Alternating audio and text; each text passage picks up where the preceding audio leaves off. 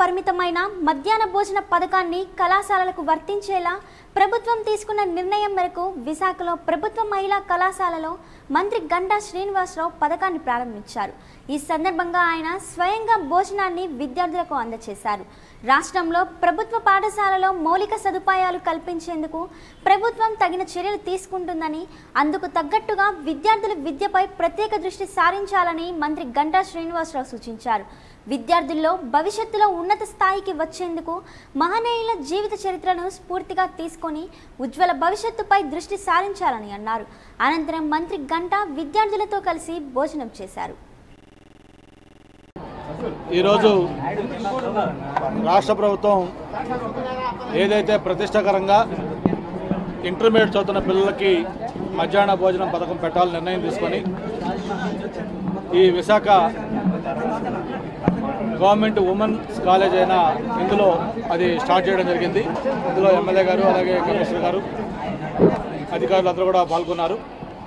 ముఖ్యంగా రాష్ట్రంలో లోటు బడ్జెట్ ఉన్నప్పుడు కూడా ఎడ్యుకేషన్కి ఎక్కడా లోటు కల్పించకుండా హైయెస్ట్ బడ్జెట్ ఎడ్యుకేషన్ పైన ప్రభుత్వం ఖర్చు పెడతా ఉంది. Fifteen percent of the budget ఎడ్యుకేషన్కి ఇచ్చి రాష్ట్రాన్ని ఒక నాలెడ్జ్ స్టేట్గా ఎడ్యుకేషన్ హబ్గా ముఖ్యంగా పిల్లలకి మోరల్స్ వాల్యూస్తో కూడిన క్వాలిటీ ఎడ్యుకేషన్ అందించాలనే ఉద్దేశంతో ఇంత ప్రయారిటీ ఇచ్చి ఎడ్యుకేషన్కి బడ్జెట్ పెంచడం జరిగింది. మరి ఒక పక్క ఇన్ఫ్రాస్ట్రక్చర్ కానీ మరో పక్క ఫ్యాకల్టీ కానీ వాటన్నిటితో పాటు టెక్నాలజీ సంబంధించిన డిజిటల్ వర్చువల్ క్లాస్ రూమ్స్ కానీ ఇవన్నీ చేస్తూ మరో పక్క పిల్లలకి యూనిఫామ్స్ కానీ అలాగే టెక్స్ట్ బుక్లు కానీ దాంతోపాటు ఈ సైకిల్స్ మిడ్ డే మీల్ ఇటువంటి ఎన్నో కార్యక్రమాలు కూడా చేస్తూ ఉన్నాం. దీనివల్ల పిల్లల్లో ఇప్పుడే నేను వాళ్ళతో కలిసి భోజనం చేస్తూ వాళ్ళని అడగడం జరిగింది. ఏంటమ్మా మీకు ఈ మిడ్ డే మీల్ వల్ల లాభం అంటే ఆ పిల్లలు ఎంతో మా ఆనందంతో వాళ్ళు చెప్తున్న మాట. సార్ మార్నింగ్ మేము కాలేజీకి వచ్చే టైంకి మా పేరెంట్స్ మాకు భోజనం రెడీ చేయలేకపోతా ఉన్నారు. మేము బాక్స్ కూడా తెచ్చుకోలేక ఆకలితో ఇబ్బంది పడతా ఉన్నాం. అటువంటిది మాకు ఈరోజు ఒక వరంలాగా మీరు మధ్యాహ్నం భోజనం స్టార్ట్ చేశారు. ఇది మాకు చాలా చాలా యూస్ఫుల్గా ఉంటుందని చెప్పిన పిల్లలు ఎంతో సంతోషంతో చెప్పడం జరిగింది.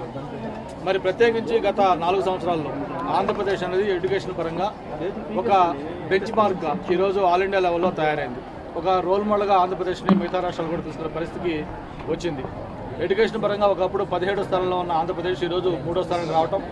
ప్రభుత్వ పాఠశాలలో అడ్మిషన్స్ కూడా బాగా పెరగటం. ఈరోజు కామన్ పేరెంట్స్ కూడా ప్రభుత్వ ఇన్స్టిట్యూట్స్ పట్ల ఒక నమ్మకం కూడా కలిగింది. మరి గతంలో అకాడమిక్ క్యాలెండర్ అనేది ఎప్పుడు ఎగ్జామినేషన్ జరుగుతుంది లేని ఒక అపనమ్మకంతో ఉండేది. ఈరోజు ఆంధ్రప్రదేశ్లో academic calendar hundred percent on date maintain చేస్తున్న ఏకైక రాష్ట్రం ఇండియాలోనే ఆంధ్రప్రదేశ్. మరి ఈ ఈ విధంగా అన్ని రకాలుగా కూడా ఆంధ్రప్రదేశ్ ఎడ్యుకేషన్ పరంగా గౌరవ ముఖ్యమంత్రి గారి డైరెక్షన్లో ముందుకు తీసుకెళ్తా ఉన్నాం. భవిష్యత్తులో ఇంకా మరిన్ని ఇటువంటి కార్యక్రమాలు చేయాలని కూడా ప్రభుత్వం ప్లాన్ చేస్తాం. మొత్తం నాలుగు వందల యాభై గవర్నమెంట్ జూనియర్ కాలేజెస్ ఉన్నాయి. అందులో లక్షా డెబ్బై నాలుగు వేల ఐదు వందల ఎనభై మూడు మంది పిల్లలకి ఈరోజు ఈ మధ్యాహ్న భోజనాన్ని మొత్తం పెడతా